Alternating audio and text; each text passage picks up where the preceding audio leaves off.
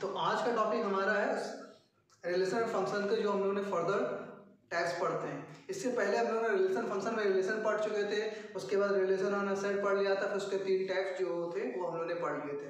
और उसमें order pair के बारे में भी हमने आपको बताया था। अब इसके बाद से, आज का टॉपिक है रिलेशन फ़ंक्शन के, उसके आगे के, जैसे कि रिफ्लेक्सिव रिलेशन क्या होता है सिमेट्रिक रिलेशन क्या होता है इसके सिमेट्रिक रिलेशन क्या होता है इनवर्स ऑफ़ रिलेशन क्या होता है ट्रांसटिव रिलेशन क्या होता है इक्विवेलेंस रिलेशन क्या होता है, ये कुछ क्वेश्चन चलिए तो इसके बाद आपको पढ़ना है रिफ्लेक्सिव रिलेशन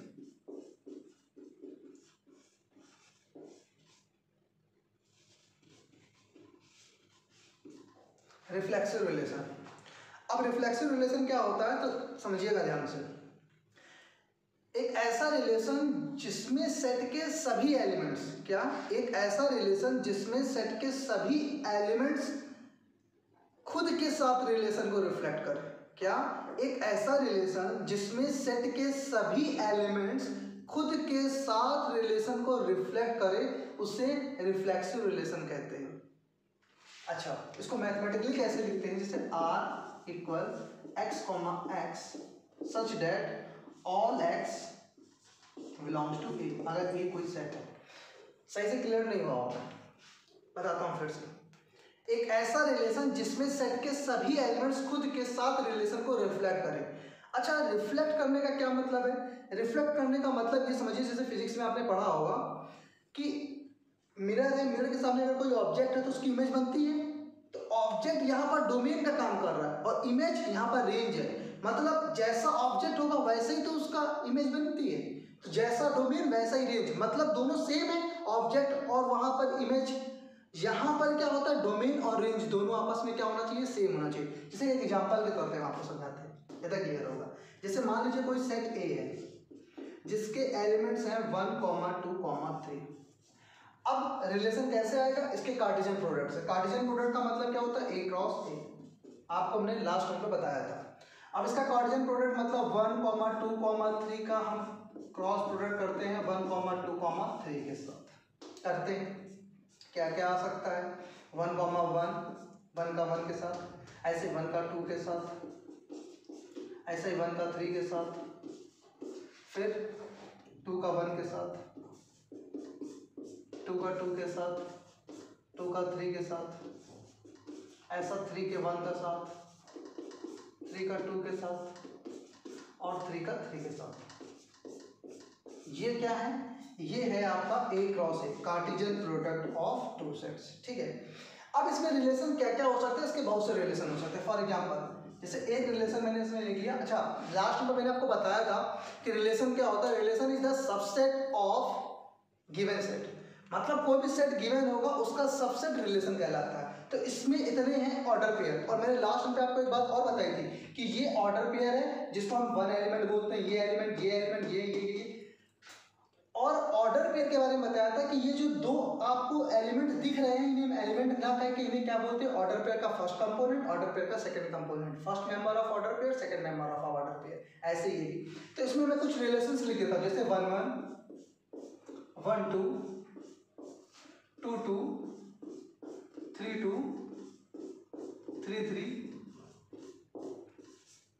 एक रिलेशन और लिख देता हूँ। One comma one two comma two three comma three मान लीजिए एक रिलेशन और लिख देता हूँ। One comma one one comma two two comma two three comma one three comma two तीन रिलेशन मैंने आपके सामने लिख दिए हैं। अब आपको ये बताना है, देखिएगा रिफ्लेक्सिव समझना है। देखिए रिफ्लेक्सिव रिलेशन में क्या होता है कि x कॉमा वाई होना चाहिए तो वाई के प्लेस पर क्या है यहाँ पर? x. इसका मतलब है कि इसमें होता है x related to x. Reflexive relation में क्या होता है? x related to x. इसका मतलब ये है कि एक ऐसा रिलेशन जिसमें डोमेन और रेंज दोनों की वैल्यू सेम आए। आपको रिलेशन में केवल ये देखना है कि x और y y जो रेंज होता था वो भी x सेम हो। मतलब समझिए, देखिए, जैसे मैंने ये कार्टिजन प्रोडक्ट कर दिया है कार्टिजन प्रोडक्ट करने के बाद से, अब देखिए तीन रिलेशन आपके सामने वाले लिखे हैं। देखिए वन कॉमा वन एक्स और एक्स दोनों सेम जो आपका ऑब्जेक्ट उसकी इमेज मतलब डोमेन रेंज दोनों सेम यहाँ पर डिफरेंट है, कोई दिक्कत नहीं। सेम ठीक? डिफरेंट है, कोई दिक्कत नहीं से तो ये आपका रिफ्लेक्सिव होगा। क्यों होगा? बात समझिएगा। डेफिनेशन क्या बताई थी? एक ऐसा रिलेशन जो सेट के सभी एलिमेंट्स एक ऐसा रिलेशन जिसमें सेट के सभी एलिमेंट्स खुद के साथ रिलेशन को रिफ्लेक्ट करे मतलब खुद के साथ रिलेशन बनाए। जैसे वन वन के साथ, टू टू के साथ, थ्री थ्री के साथ। एक ऐसा रिलेशन जिसमें सेट के सभी एलिमेंट्स खुद के साथ रिलेशन बताए। खुद के साथ मतलब वन वन के साथ, टू टू के साथ, थ्री थ्री के साथ। उसके अलावा वो क्या करते हैं, उसमें कितने एलिमेंट है, उसमें कोई मतलब नहीं। जैसे वन वन के साथ बना रहा ठीक। टू टू के साथ बना रहा ठीक। थ्री थ्री के साथ बना रहा ठीक। इसके अलावा ये ये सब कोई मतलब नहीं रिफ्लेक्सिव हो गया इसमें देखिए, वन वन के साथ बना रहा है, ठीक, टू टू के साथ बना रहा है, ठीक, थ्री थ्री के साथ बना रहा है रिफ्लेक्सिव हो गया। वन वन के साथ बना रहा है, ठीक, टू टू के साथ बना रहा है, ठीक, थ्री थ्री नहीं है। इसका मतलब ये रिफ्लेक्सिव ये होगा, ये वाला नहीं होगा। याद रखिएगा। अच्छा आइडेंटिटी में भी यही होता था, one one, two two, three three, ये भी आइडेंटिटी भी है। अच्छा इसमें एक चीज़ और बता दूँ, जैसे मान लीजिए मैंने ये लिख दिया, one comma one, two comma two ये रिलेशन आइडेंटिटी रिलेशन है बट ये रिफ्लेक्सिव नहीं क्योंकि इसमें सारे एलिमेंट्स नहीं आए, तीन, तीस, तीन तीन नहीं आए थ्री थ्री नहीं आया। इसलिए ये आइडेंटिटी तो है बट ये रिफ्लेक्सिव नहीं है। यहाँ पर देखिए, ये आइडेंटिटी भी है रिफ्लेक्सिव भी है। ये वाला रिफ्लेक्सिव है, क्यों? वन वन पहला एलिमेंट हो गया। टू टू, दूसरा वाला भी हो गया थ्री थ्री सारे एलिमेंट्स खुद के साथ रिलेशन बना ली है, इसलिए ये रिफ्लेक्सिव होगा और ये आइडेंटिटी नहीं होगा, क्योंकि आइडेंटिटी में क्या होता था? एक्स और वाई मतलब डोमेन और रेंज हमेशा सेम हो। मतलब one one two two three three इसके अलावा कोई एलिमेंट ही ना हो। जैसे ये आ गया, ये आ गया इस वजह से ये आइडेंटिटी नहीं होगा। याद रखिएगा आइडेंटिटी और रिफ्लेक्सिव में कंफ्यूज मत होइएगा। रिफ्लेक्सिव में क्या होता है कि खुद के साथ रिलेशन बताएँ, उसके अलावा कुछ भी हो, उससे हमें कोई मतलब नहीं है।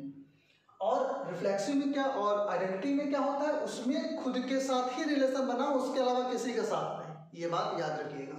अच्छा अब इसको आप नोट कर लीजिए, इसके बाद हम इसके कुछ और एग्ज़ाम्पल बताते हैं।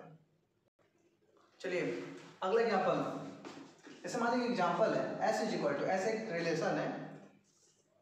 या समझ लीजिए ऐसे रिलेशन एक सेट है। All lines in a plane मान लीजिए एक सेट गिवन है आपको S all lines in a plane ठीक?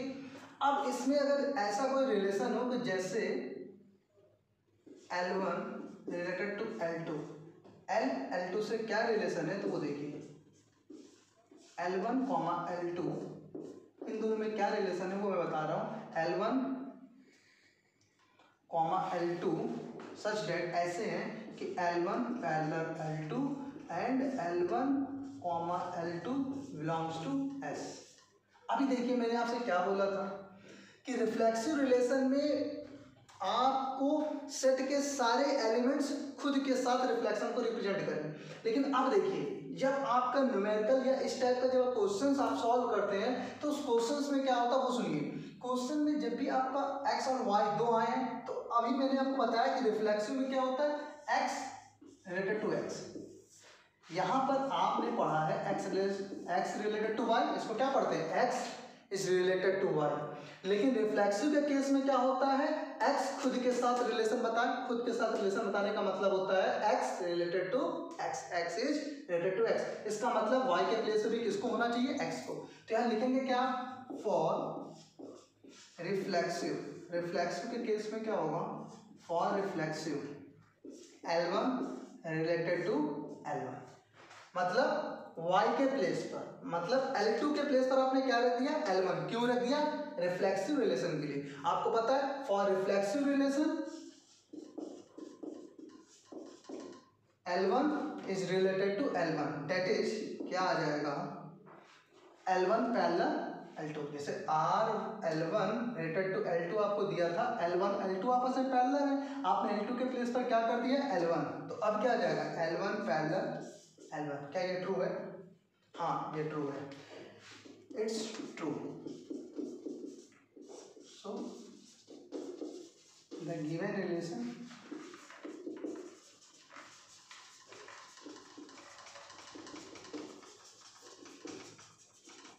reflection so the given relation is reflection मतलब मैं ये बताना चाहता था आपसे कि अगर कोई क्वेश्चन आपके सामने आ रहा हो और आप क्वेश्चन में देख के ये मत सोचिएगा कि इसमें तो x, मैंने भी आपको बताया x कॉमा x, यहाँ पर x नहीं है या x कॉमा वाई कुछ लिखा हो।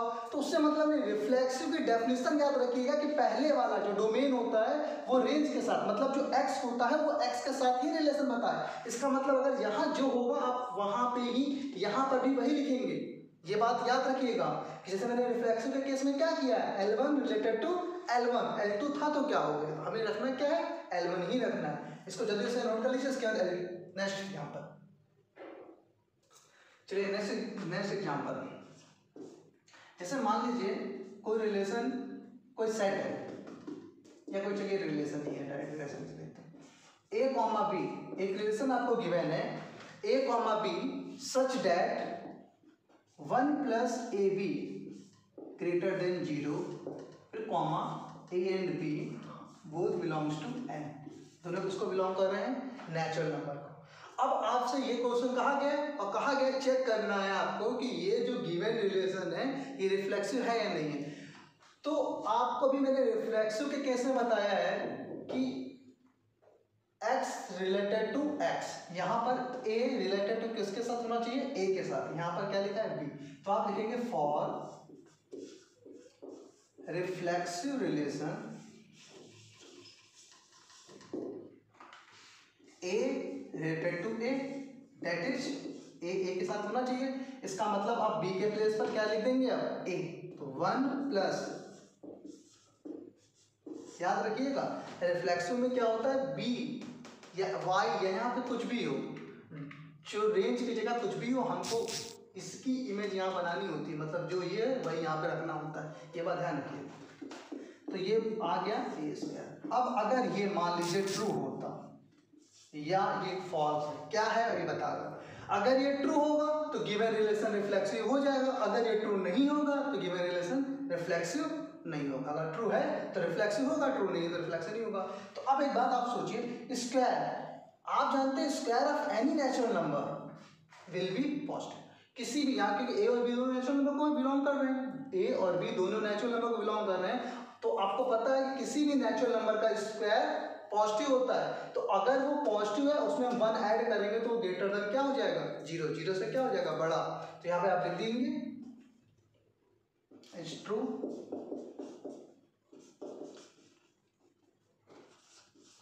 because because of square of any positive लिख लीजिएगा। It's true because of square of any natural number will be positive. So it will be greater than zero hence the given relation is reflection. ये आपका था। अच्छा एक और example सोचते हैं। इसके बाद इसको जल्दी से नोट कर लीजिए इसका एक, एक छोटा सा और एग्जांपल चलिए एक अगला एग्जांपल देखिए जैसे कोई रिलेशन है। अच्छा इस रिलेशन में देखिएगा मैं आपको सेट नहीं दूँगा। कभी कभी रिलेशन में सेट नहीं दिया जाता। देखिएगा क्या होगा। जैसे लिखा है A comma B such that A और बी कोई है? Such that A is father of B अब आपको बताना रिफ्लेक्शन है। सोचिए। A comma B such that A is father of B A जो है वो बी के क्या है? फादर है। अब लिखेंगे आप रिफ्लेक्सिव के लिए, इसमें कोई सर्च चाहिए नहीं। रिफ्लेक्सिव के लिए क्या करेंगे आपको पता है? बी के प्लेस पर क्या लिख देंगे आप? ए तो लिखेंगे फॉर रिफ्लेक्सिव यहाँ पर लिखेंगे for reflexive relation for reflexive relation A related to A पता है ना बी के प्लेस पर भी ए रख देंगे। डेट इज़ आपका रिलेशन क्या हो जाएगा? A is father of A क्या ये पॉसिबल है? A is father of A possible नहीं है, लेकिन it not possible so that given relation is not reflexive तो ऐसे ही जब भी रिफ्लेक्सिव का आपका आएगा, चाहे वो उसमें इस रिलेशन के फॉर्म में आए, जैसे मान लीजिए एक और एग्ज़ाम्पल देख जैसे लिखा है आर इक्वल कोई, यहाँ लिखा मान लीजिए one one one two two two three three और फोर फोर और वन फाइव और फाइव फाइव और कोई सेट है? One comma two comma three comma four comma five अब आप सोचिए, ये रिफ्लेक्सिव है या नहीं? है देखिए वन वन दिख रहा है, खुद के साथ रिफ्लेक्शन खुद के साथ रिफ्लेक्शन खुद के साथ रिफ्लेक्शन खुद के साथ रिफ्लेक्शन खुद के साथ रिफ्लेक्शन तो ये क्या होगा? रिफ्लेक्सिव होगा। तो एक बात याद रखिएगा रिफ्लेक्सिव रिलेशन क्या होता है? लास्ट में मैं फिर से बता दूँ। एक ऐसा रिलेशन जिसमें सेट के सेट सेट के सभी एलिमेंट्स खुद के साथ रिलेशन बनाए। मतलब खुद के साथ रिलेशन को रिफ्लेक्ट करें। इसका मतलब यह है कि जो ये हैं, वही आए। खुद के साथ रिलेशन बनाए। मतलब जो वन है वन के साथ रिलेशन बनाए। टू है टू के साथ बनाए। थ्री थ्री के साथ। ऐसे कितने भी एलिमेंट है। खुद के साथ रिलेशन बनाए। उसे हम रिफ्लेक्सिव रिलेशन बोलते हैं, याद रखिएगा। चलिए, अब हम लोग उसको नोट कर लीजिए सिमेट्रिक पढ़ते हैं। अब हम लोग पढ़ते हैं सिमेट्रिक रिलेशन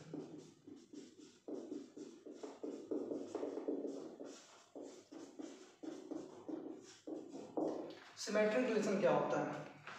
सुनिएगा। मान लीजिए आपको दो, मान लीजिए आपको एक रिलेशन गिवन है एक्स और वाई में, क्या? आपको एक्स और वाई में एक रिलेशन गिवन है तो जो रिलेशन एक्स और वाई में है, अगर वही सेम रिलेशन वाई और एक्स में भी हो जाए तो ऐसे रिलेशन को सिमेट्रिक रिलेशन बोलते हैं। क्या कहा? कि जो रिलेशन मान लीजिए आपको एक रिलेशन गिवन है एक्स और वाई में, ठीक?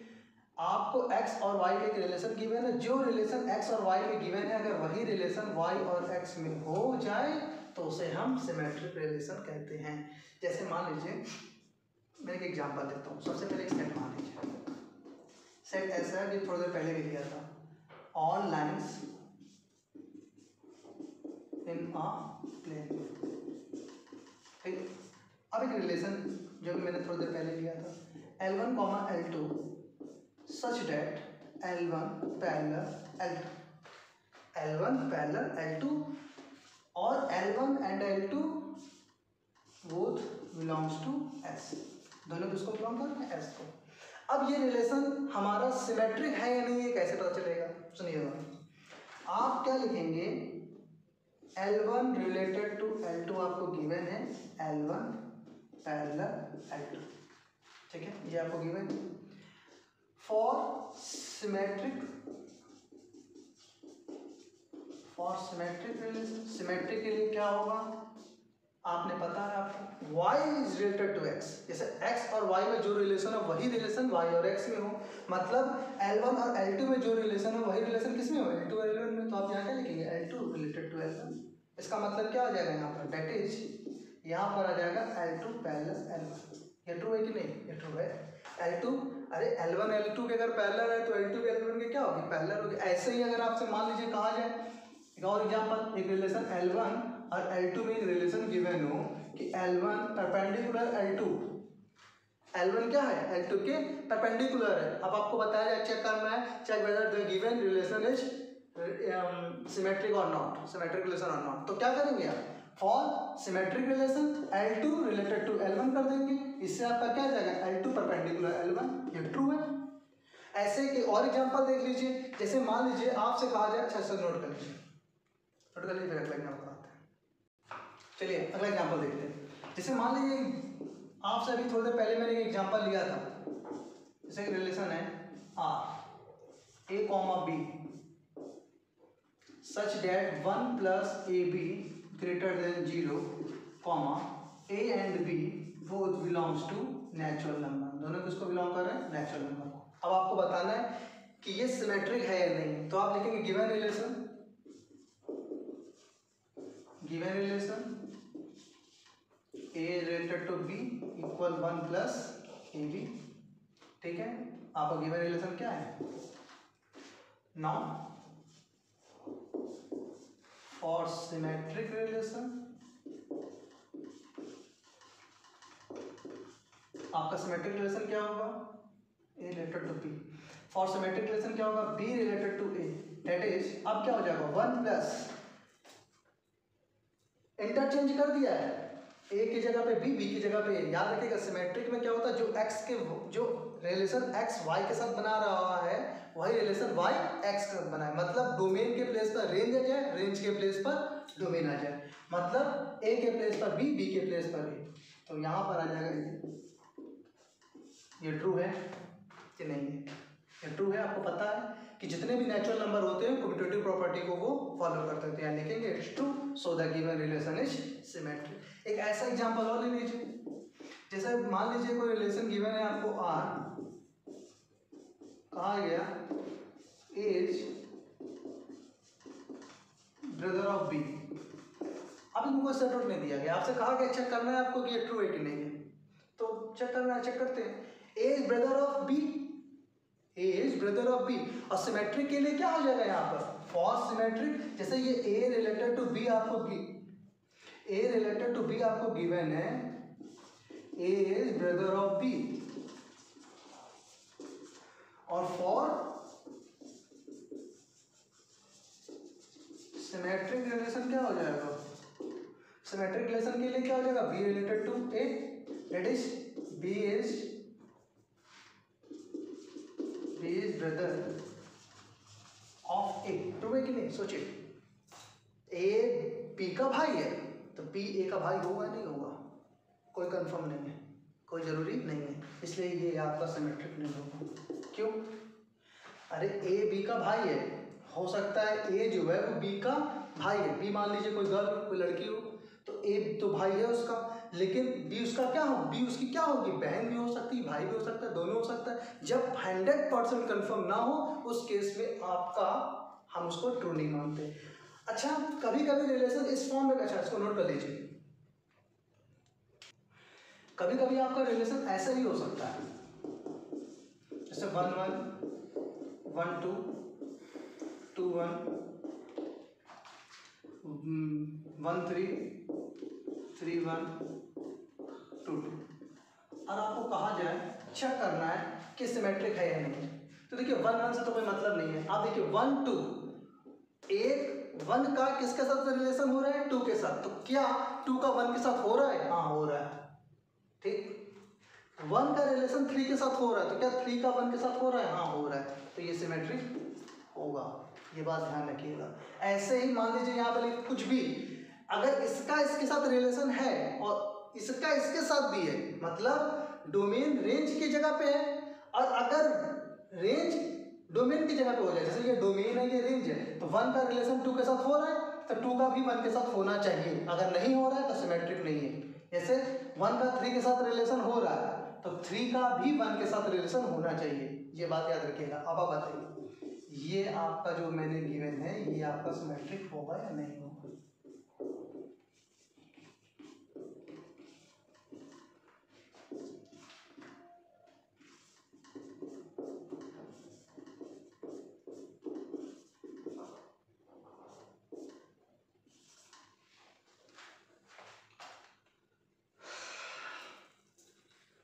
ये मैंने दो बार लिख दिया इसको हटा देता हूँ।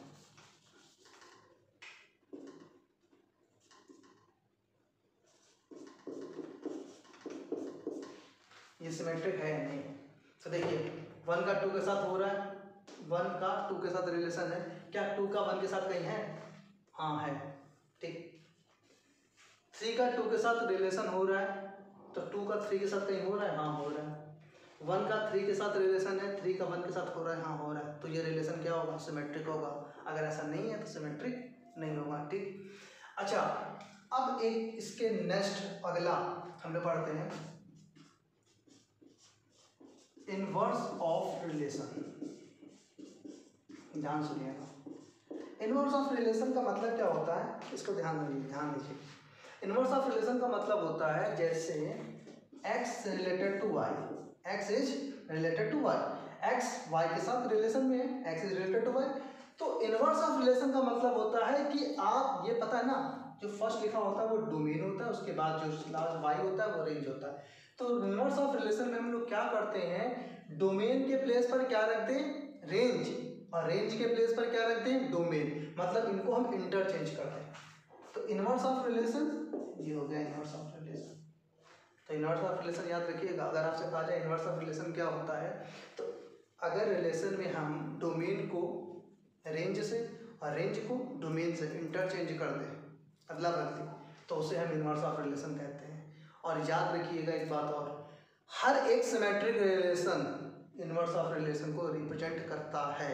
मतलब कि अगर कोई सिमेट्रिक रिलेशन है तो वो इनवर्स ऑफ़ रिलेशन को रिप्रेजेंट करेगा। जैसे ये है एक रिलेशन अच्छा मैं पहले एग्जांपल देता हूँ। जैसे कोई रिलेशन है आपका। One two three two three three एक रिलेशन है, मान लीजिए। आपसे कहा जाए इसका इन्वर्स ऑफ़ रिलेशन फाइंड करो। इन्वर्स ऑफ़ रिलेशन आप फाइंड कर रहे हैं। Two one two three three three है। क्या किया आपने इन्वर्स ऑफ़ रिलेशन फाइंड करने के लिए? इसको इसके प्लेस पर, इसको इसके प्लेस पर इंटरचेंज कर दे, दोनों की पोजीशन इंटरचेंज कर दी। दोनों की पोजीशन इंटरचेंज कर दी। दोनों की पोजीशन इंटरचेंज कर दी। इसमें तो करने की ज़रूरत ही नहीं थी। तो ये इनवर्स ऑफ़ रिलेशन होता है। अब एक बात समझिए, अगर कोई सिमेट्रिक रिलेशन है तो उसमें उस रिलेशन का इनवर्स दोनों आपस में क्या होंगे? बराबर होंगे। ये बात ध्यान रखिएगा। अगर कोई सिमेट्रिक रिलेशन है तो उस रिलेशन का इनवर्स भी इनवर्स उस रिलेशन के बराबर होगा। जैसे एग्जांपल के लिए ये लिखा है ना, इसका आप इनवर्स निकाल लीजिए। चलिए आपके सामने निकालता हूँ। देखिएगा ध्यान से, इसका इनवर्स निकालता हूँ। हाँ इनवर्स इसका रिलेशन इस रिलेशन का इनवर्स निकालता हूँ। वन वन का वन वन ही होगा। वन टू का, टू वन। इंटरचेंज कर टू वन का, वन टू। वन थ्री का, थ्री वन। थ्री वन का, वन थ्री। टू टू का, टू टू। अब मेरा ध्यान दीजिए। क्या सारे ऑर्डर पेयर जो यहाँ लिखे इसमें है? चेक कर लेते हैं। वन वन है। One two. हाँ वन टू है। टू वन टू वन भी है। वन थ्री वन थ्री भी है। थ्री वन थ्री वन भी है। टू टू टू टू भी है। तो ये रिलेशन क्या है? ये किसके इक्वल हो? गया आर के इक्वल तो याद रखिएगा सिमेट्रिक रिलेशन वो रिलेशन होता है जो इनवर्स भी बताएँ। याद रखिएगा सिमेट्रिक रिलेशन में रिलेशन और उसका इनवर्स दोनों आपस में क्या होता है? बराबर होता है। अब हम लोग पढ़ते हैं अगला। इसको नोट कर लीजिए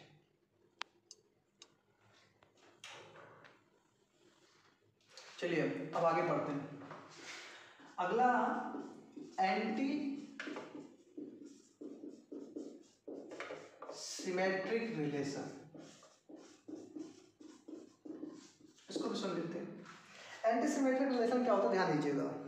अगर मान लीजिए, x is related to y है, क्या है?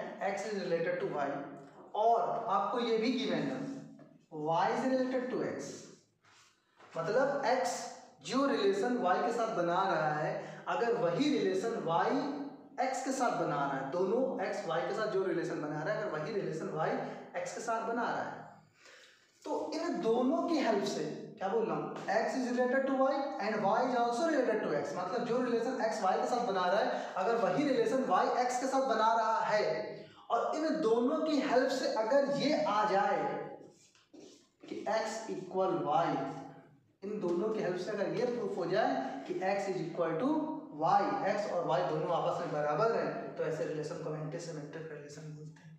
जैसे एग्जांपल देखते हैं। आइए एग्जांपल समझते हैं, ज़्यादा क्लियर होगा। जैसे मान लीजिए, एक रिलेशन गिवन है x comma y such that x is divisible by y और एक्स और वाई दोनों किसको बिलोंग करते हैं? नेचुरल नंबर एक आपको रिलेशन गिवन है x comma y such that x is by y x comma y both belongs to natural number तो अब बता दीजिए अगर एंटी सिमेट्रिक रिलेशन कैसे क्या? है देखिएगा इस रिलेशन में आप देखिए, x is divisible by y x, y से डिविजिबल है, ये आपको गिवन है। मान लीजिए, x रिलेटेड टू y, कहा गया है कि जो x है, वो y से डिविजिबल है। और अगर y रिलेटेड टू x भी हो तो इससे क्या हो जाएगा? वाई इज़ बाई एक्स हो जाएगा। ठीक? तो इन दोनों से क्या? ये तभी कब पॉसिबल है जब आपका एक्स बराबर क्या हो? वाई हो। अभी तो पॉसिबल है, जैसे समझिएगा दोनों के दोनों नेचुरल नंबर ध्यान दीजिएगा। एक्स और वाई दोनों नेचुरल नंबर है। अगर x is divisible by y एक नेचुरल नंबर दूसरे नेचुरल नंबर से डिवाइड हो रहा है, ठीक? जैसे मान लीजिए एक नेचुरल नंबर है, आपका मान लीजिए फोर एक नेचुरल नंबर मान लीजिए एट तो अगर एट फोर से डिवाइड हो रहा है तो टू आ रहा है। ठीक? और अगर फोर एट से डिविजल तो है नहीं। अगर मैं कहूँ कि एक्स वाई से डिविजल है और वाई एक्स से डिविजल है, दोनों ट्रू बोल दूँ तो कब होगा ये? जब आपका एक्स और वाई दोनों आपस में क्या हो? बराबर।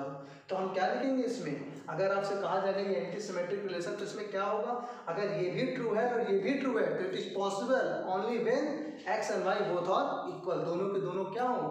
नेचुरल नंबर आपस में बराबर हो। अब हम नेक्स्ट नेक्स्ट पढ़ते हैं ट्रांसटिव रिलेशन चलिए नेक्स्ट पढ़ते हैं। ट्रांसटिव रिलेशन अब ये ट्रांसटिव रिलेशन क्या होता है? चलिए देखते ध्यान सुनिएगा। एक ऐसा रिलेशन, जैसे मान लीजिए आपको x और y में एक रिलेशन गिवन है। सपोज़ डेट x और y में एक रिलेशन गिवन है, या a और b में एक रिलेशन गिवन है। X, y में रिलेशन गिवन या a और b में? और आपको y और z में भी एक रिलेशन गिवन है। देखिएगा, ध्यान सुनिएगा। मान लीजिए आपको x और y में एक रिलेशन गिवन है और दूसरा रिलेशन x और y में जो रिलेशन गिवन है, और दूसरा रिलेशन y और z में आपको गिवन हो या ना हो। अगर गिवन है तो बहुत अच्छी बात है, नहीं गिवन है तो हमें जूम करना पड़ेगा, हमें मानना पड़ेगा अपने तरफ़ से। क्या मानना पड़ेगा? इस बात में ध्यान दीजिएगा। जो इसमें लास्ट में हो ना, वो यहाँ पे स्टार्टिंग में होगा। जैसे a is related to b है, एक रिलेशन गिवन है, दूसरा नहीं गिवन है तो आप एज्यूम करेंगे। क्या एज्यूम करेंगे? इसका वाला पहले लिख लेंगे, फिर रिलेशन और किसी और नंबर के साथ। तो याद रखिएगा, x is related to y given है। ये गिवन है तो बहुत अच्छी बात है, नहीं है तो हम एज्यूम करेंगे। X is given x is related to y and y is related to z x और y में जो रिलेशन है, वही सेम रिलेशन आपने y और z में एज्यूम कर लिया। X और y में जो रिलेशन गिवन है, वही रिलेशन आपने y और z में एज्यूम कर लिया। और इन दोनों की हेल्प से, या इन दोनों की हेल्प से, अगर ये प्रूफ हो जाता है कि x और z में भी वही रिलेशन है तो ऐसे रिलेशन को हम ट्रांसटिव रिलेशन बोलते हैं। इन दोनों की हेल्प से अगर ये प्रूफ हो जाए a is related to c तो ऐसे रिलेशन को हम ट्रांसटिव रिलेशन बोलते हैं, जैसे एग्ज़ाम्पल हैं। अभी थोड़ी देर पहले मैंने एक एग्ज़ाम्पल दिया था S equal all lines in a plane ठीक, ये सेट है? रिलेशन ले लेते हैं।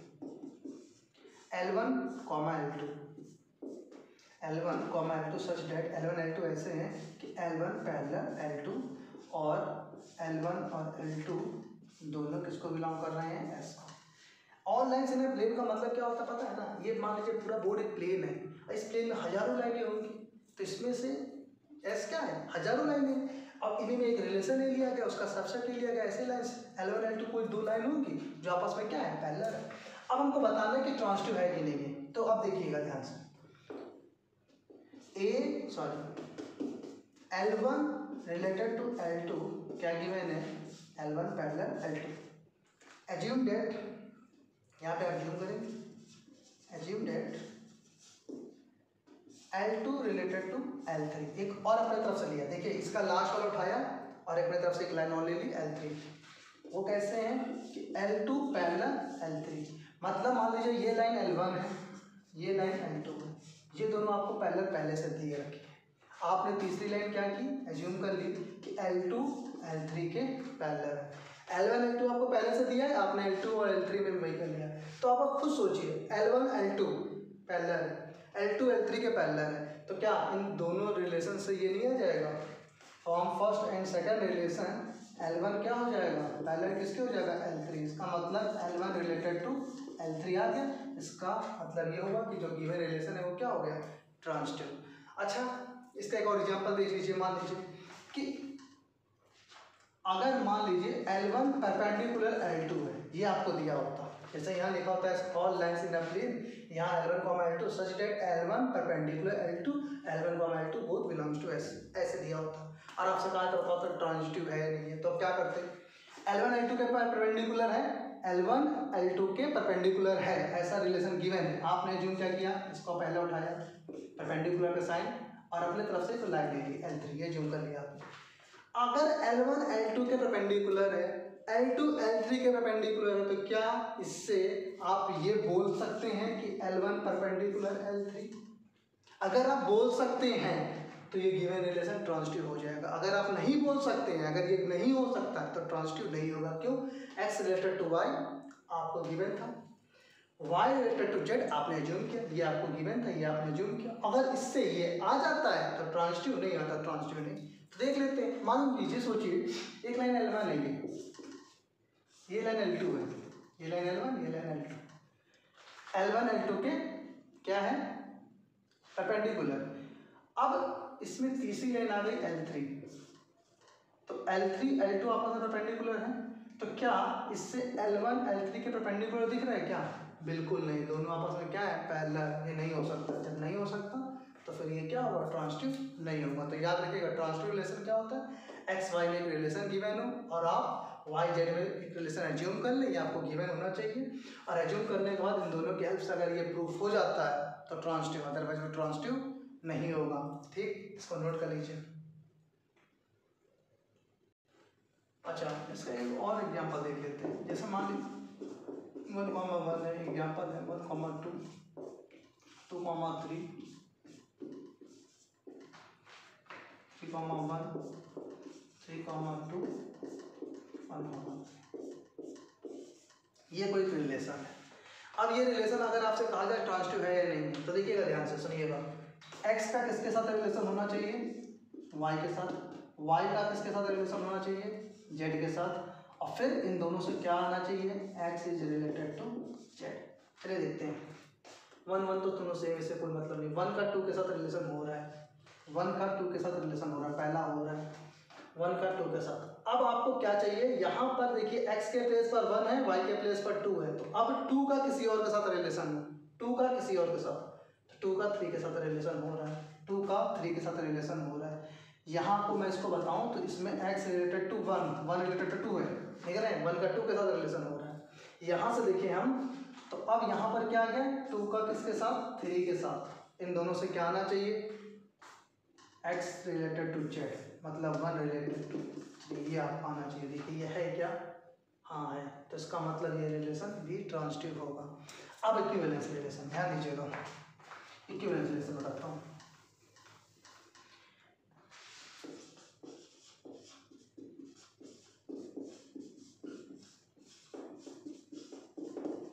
इक्विवेलेंस रिलेशन क्या होता है ध्यान दीजिए।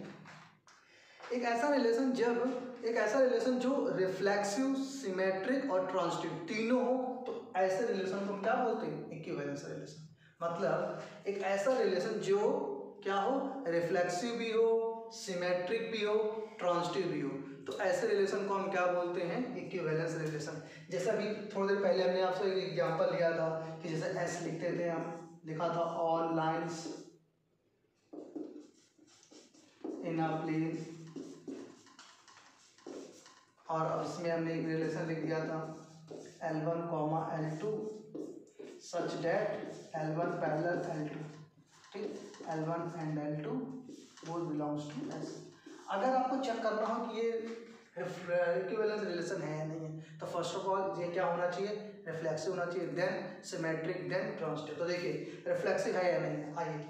रिफ्लेक्सिव के केस में हम लोगों ने क्या पढ़ा था? एल वन किसके साथ रिलेट करना चाहिए? एल वन के साथ। तो यहाँ पर भी क्या आ जाएगा? L one L one parallel L one मतलब कोई लाइन खुद के साथ पैरेलल होती है? हाँ होती है। तो इसका मतलब गिवन रिलेशन क्या हो जाएगा? रिफ्लेक्सिव सिमेट्रिक के केस में क्या होता है? इन दोनों को इंटरचेंज करेंगे। L1 के प्लेस पर L2 और L2 के प्लेस पर L1 मतलब यहाँ पर L2 यहाँ पर L1 अगर L1 L2 के पैरेलल है तो L2 भी L1 के पैरेलल होगी। इसका मतलब ये क्या हो जाएगा आपका? सिमेट्रिक भी। ट्रांसटिव ट्रांसटिव के केस में क्या है? L1 पैरेलल किसके हैं? L2 के। आपने एज्यूम किया L2 पैरेलल किसके? L3 के। इन दोनों से आपका आ जाएगा L1 पैरेलल L3 तो ये क्या हो जाएगा? भी तो ये जो रिलेशन है ये क्या हो गया? इक्विवेलेंस रिलेशन याद रखिएगा इक्विवेलेंस रिलेशन क्या होता है? ऐसा रिलेशन जिसमें ऐसा रिलेशन जो रिफ्लेक्सिव सिमेट्रिक और ट्रांसटिव हो उसे इक्विवेलेंस रिलेशन कहते हैं। अब इसके बाद इसके क्वेश्चंस करते हैं। हम्म, चलिए अभी क्वेश्चन करते हैं। जैसे कोई रिलेशन गिवन है आपको a comma b such that a greater and equal than b और ए और बी दोनों किसको बिलोंग करते हैं? रियल नंबर यहाँ पर आर क्या है आपका? रियल नंबर है। याद रखिएगा, यहाँ पर आर क्या है आपका? रियल नंबर अब ये, यहाँ पर आर रियल नंबर है, याद रखिएगा, ये रिलेशन इसमें जो रिलेशन एक काम करते हैं रिलेशन को हम चेंज कर लेते हैं आर ऐसे तो आप कंफ्यूज हो सकते हैं कि ये आर रिलेशन तो नहीं है। तो ये क्वेश्चन है आपको आर इक्वल मान लीजिए आर डैश इक्वल गिवन है a comma b such that a greater and equal than b और a comma b both belongs to real number R तो अब ये रिलेशन आपको चेक करना है कि इक्विवेलेंस रिलेशन है या नहीं है। चलिए चेक करते हैं। तो सबसे पहले फॉर रिफ्लेक्सिव रिलेशन तो देखिए for reflexive relation reflexive relation में क्या होता है आपको पता है? A related to a that is क्या आ जाएगा? स्ट्रो ये सही है, ये सत्य है, ये सच है। स्ट्रो क्यों? क्यों ट्रू है? अब आप एक बात सोचिए। रिफ्लेक्सिव रिलेशन में मैंने आपसे क्या कहा था? एक्स एक्स के बराबर हो। उसके अलावा क्या आता है? हम लोग को कोई मतलब नहीं है। यहाँ पर देखिए, मान लीजिए ये एक्स है और ये वाई है। या ये ए है ये बी है। तो यहाँ पर देखिए ए ए के बराबर भी तो है। छोटा है कि बड़ा है, उससे हमें मतलब नहीं है। अगर हम यहाँ पर रियल नंबर में वन रखेंगे तो वन आएगा टू रखेंगे टू आएगा माइनस टेन रखेंगे माइनस टेन आएगा, कुछ भी रखेंगे, वो आएगा। तो इसका मतलब आर डैश या कोई भी रिलेशन गिवन है उसमें जो अब ऑर्डर पेयर आपका बनता है, उसमें जो नंबर यहाँ आएगा, वही नंबर यहाँ आएगा। दोनों सेम तो लिखेंगे क्या? इज़ ट्रू आपको इस केस में ये नहीं देखना है। याद रखिएगा, ये मत सोचेगा कि यहाँ पर ग्रेटर एंड इक्वल है तो इक्वली क्यों लिया ग्रेटर नहीं लिया, ऐसा नहीं, हमने लिया दोनों है जैसे एग्जांपल के लिए आपको हम समझा समझाने के लिए क्यों कर दे कि इससे रिलेशन से अगर आप कोई भी नंबर रखते हैं रियल नंबर में वन रखा तो one comma one minus one रखा तो माइनस वन कमा माइनस जो रखेंगे वही तो आएगा। ग्रेटर भी आ सकता है, जैसे मान लीजिए यहाँ वन रखा, यहाँ पे आ गया। ठीक? यहाँ टू रखा तो भी यहाँ वन हो सकता है। जैसे मान यहाँ टू कोमा वन भी हो सकता है। लेकिन अब वन वन के बाद से जब भी आप यहाँ पे रखेंगे तो उसके इक्वल भी तो आएगा। जैसे मान लीजिए टू रखा था टू कॉमा टू फिर हो सकता है कि यहाँ पर आपका थ्री कॉमा टू भी आ जाए। कुछ भी हो सकता है, लेकिन नंबर तो दोनों आपस में बराबर है ना। ये ग्रेटर है, ये मानते हैं तो ग्रेटर वाला भी आएगा। लेकिन इक्वल वाला भी तो आएगा तो इक्वल इक्वल हो गया और सारे एलिमेंट्स इसमें आ जाएँगे। तो रिफ्लेक्सिव हो गया। तो याद रखिएगा रिफ्लेक्सिव के केस में जब भी इस टाइप का क्वेश्चन आएगा तो आप इन दोनों को आपस में देखिएगा कि बराबर है या नहीं इक्वल है या नहीं। तो is true so the given relation is reflexive symmetric is true so the given relation is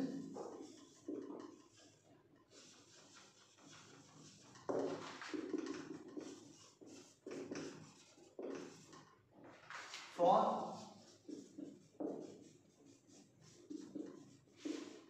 symmetric relation आपको सिमेट्रिक में पता है ये आपको गिवन है क्या गिवन है ऐसा गिवन है फॉर सिमेट्रिक क्या होगा ये तो आपको गिवन है for symmetric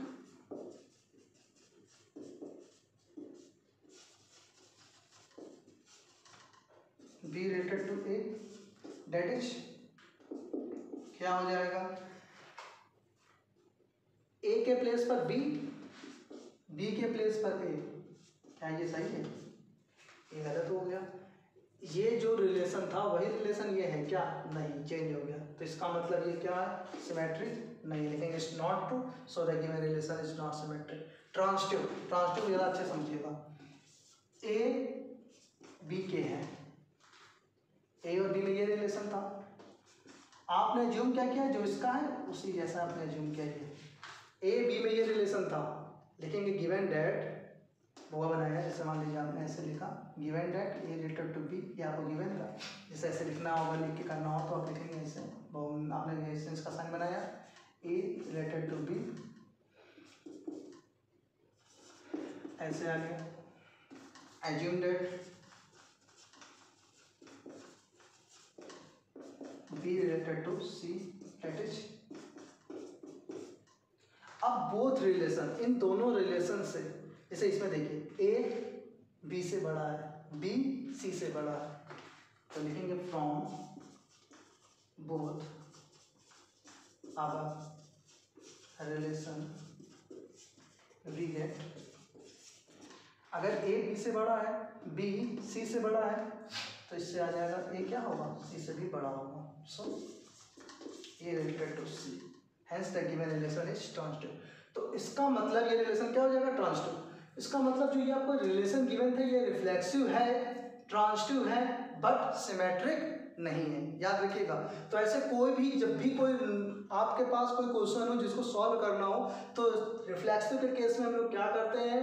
यहाँ पर x, यहाँ पर y, या a और b तो b के प्लेस पर या y के प्लेस पर आपको क्या रखना होता है? जो यहाँ पर डोमेन होता है, पहले वाले को। और फिर आप देखिए वो ट्रू है कि अगर ट्रू है तो रिफ्लेक्सिव ट्रू नहीं है तो रिफ्लेक्सिव नहीं होगा। सिमेट्रिक के केस में क्या करना होता है? एक्स और वाई अगर है तो उसको इंटरचेंज वाई और एक्स करना पड़ता है। अगर ए और बी है तो बी और ए करना पड़ता है। जो है, उसको इंटरचेंज करना होता है। ट्रांसटिव के केस में क्या करना होता है कि ए बी में जो रिलेशन है, उस रिलेशन के बाद आपको एक एज्यूम करना होता है, दूसरा रिलेशन या आपको गिवन है तो ठीक। नहीं गिवन है तो एज्यूम करना पड़ता है। और एज्यूम करने की कंडीशन क्या है? जो यहाँ पर डोमेन सॉरी जो यहाँ पर रेंज है वही आपका यहाँ पर क्या होना चाहिए? डोमेन होना चाहिए, ठीक? और यहाँ पर आप तीसरा एलिमेंट उसी से रिलेटेड कोई एज्यूम कर सकते हैं। और उन दोनों रिलेशन से अगर ऐसा रिलेशन आ जैसे a related to b b related to c इन दोनों में जो रिलेशन है, अगर वही रिलेशन ए और सी में आ जाए तो वो रिलेशन ट्रांसटिव होगा अदरवाइज़ ट्रांसटिव नहीं होगा, ठीक? है इसको जल्दी से नोट कर लीजिए। चलिए नेक्स्ट क्वेश्चन देखते हैं। जैसे कोई रिलेशन आ रहा है, जिसमें कहा गया है a comma b such that a is brother of b मान लीजिए कोई रिलेशन है ए और बी में, कहा गया a is brother of b और आपसे बोला गया है कि check whether the given relation is equivalence और नॉट आपको बताना है कि ये रिलेशन जो है वो इक्विवेलेंस है या नहीं है। तो सबसे पहले हम लोग क्या करेंगे? रिफ्लेक्सिव रिफ्लेक्सिव के केस में आपको पता है। फॉर रिफ्लेक्सिव बी के प्लेस पर क्या होना चाहिए? ए तो यहाँ लिखेंगे क्या? For reflexive relation for reflexive relation a related to a that is a is brother of a brother of कोई खुद का भाई, खुद का ब्रदर नहीं हो सकता नॉट पॉसिबल लेकिन it's not possible so that given relation is not reflexive ऐसे ही for symmetric for symmetric relation symmetric relation में क्या होगा? इंटरचेंज हो जाएगा। B is related to a that is अभी आपको दिया था a is brother of b interchange a की जगह पे बी बी की जगह पे ए मतलब B is brother of A B A का भाई अभी था ए बी का भाई है। A is brother of B A B का भाई है। यहाँ पर हो गया B is brother of A ये पॉसिबल नहीं है। क्यों? पॉसिबल है भी नहीं भी। हंड्रेड परसेंट नॉट श्योर जब हंड्रेड परसेंट श्योर ना हो, उस केस में उसे रॉन्ग माना जाता है। क्यों? क्योंकि बी यहाँ पर एक गर्ल भी हो सकता है तो सिस्टर भी हो सकता है ब्रदर भी हो सकता है, कुछ भी हो सकता है। सिस्टर भी हो सकती है ब्रदर भी हो सकता है। इस केस में ये नॉट पॉसिबल इसलिए ये सिमेट्रिक भी नहीं होगा रिफ्लेक्सिव नहीं होगा सिमेट्रिक नहीं होगा। आइए ट्रांसटिव ट्रांसटिव के केस में क्या होगा? सोचिए। ए रिलेटेड टू बी क्या है? A is brother of B ठीक? अब आपने एज्यूम क्या किया? बी रिलेटेड टू सी आपने क्या एक रिलेशन एज्यूम किया? बी रिलेटेड टू सी मतलब B is brother of C चलिए लिख देता हूँ। इसमें था था A is brother of B आपने एज्यूम क्या किया? B is brother of C A is brother of B B is brother of C तो इससे क्या होगा? अब इन दोनों रिलेशन से अगर ए बी का भाई है, समझ, समझिएगा। ए बी का भाई है बी सी का भाई है तो इन दोनों से आपका आ जाएगा ए इज़ ब्रदर ऑफ़ मतलब ए रिलेटेड टू इसलिए ये रिलेशन क्या होगा? ट्रांसटिव होगा सिमेट्रिक नहीं होगा रिफ्लेक्सिव नहीं होगा। इस बात को फिर से समझते हैं। A is related to B था A is brother of B A जो है वो बी का भाई है।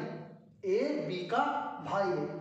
आपने एज्यूम क्या किया? बी रिलेटेड टू सी यहाँ बी तो B related to C B जो है वो सी का भाई है। तो यहाँ पर बी कोई लड़की हो ही नहीं सकती, कोई गर्ल हो ही नहीं सकती। क्यों? क्योंकि B is brother of C आपने एज्यूम किया है B brother of C B जो है वो सी का भाई है। यहाँ पर सी कुछ भी हो सकता है, उससे हम लोग को मतलब नहीं। इन दोनों से अगर ए बी का भाई है बी सी का भाई है तो इससे ये कंफर्म हो गया ए जो है वो सी का भाई होगा। ए जो है वो सी का भी भाई होगा। तो as related as brother of C so ये। तो ऐसे ही आप इसके क्वेश्चन सॉल्व करने की कोशिश करिएगा। जो क्वेश्चन ना है वो आप हमसे पूछ सकते हैं। और इसके अलावा अब इसके आगे का नेक्स्ट हम लोग नेक्स्ट वीडियो में पढ़ेंगे। ठीक है थैंक यू